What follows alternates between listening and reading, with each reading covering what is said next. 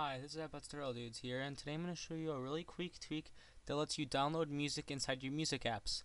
Um, it's just like deleting contacts where you just swipe your finger across and click delete.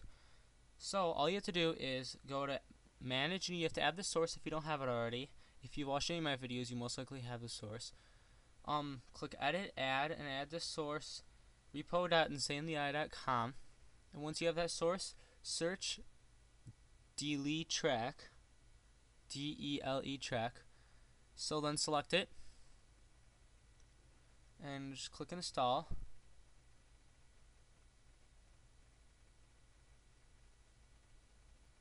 And confirm.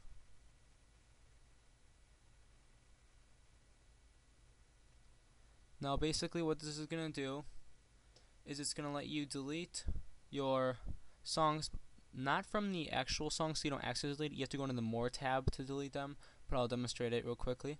It's going to install it, and then once it's done, you, you're going to have to spring your springboard.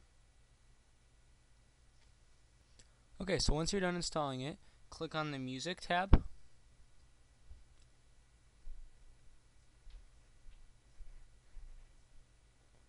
Now here it's just showing you a little thing, just hit later. And you will have your songs here.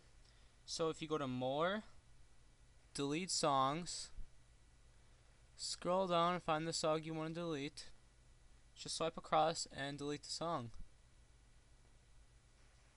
Now, when you go back to your music app, the song will be deleted.